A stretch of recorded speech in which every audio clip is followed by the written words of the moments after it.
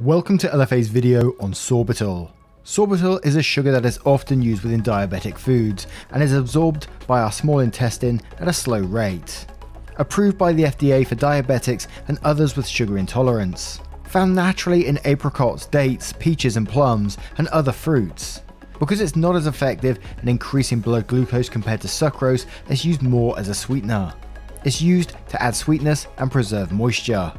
Sorbitol isn't fully digested by the small intestine and passes through to the large intestine where the metabolism yields fewer calories and does not contribute to tooth decay, and therefore is known to have oral benefits as well.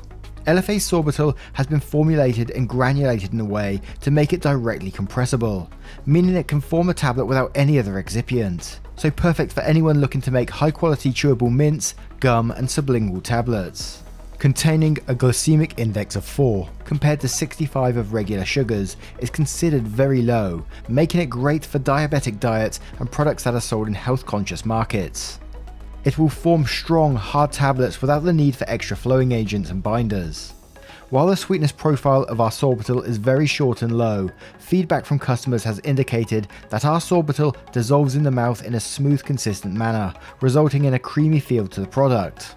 All you have to do is add your flavoring, active or color, and sorbitol DC grade will act as a binder and flowing agent. It's important to note that you may need an anti-caking or dry lubricant depending on your active, but feel free to reach out to our team and we will assist you with your formulation questions.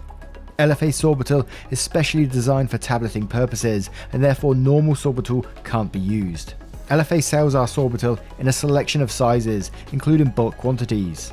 For more information on our sugar range, excipients, tablet presses, and more, please visit www.lfatabletpresses.com.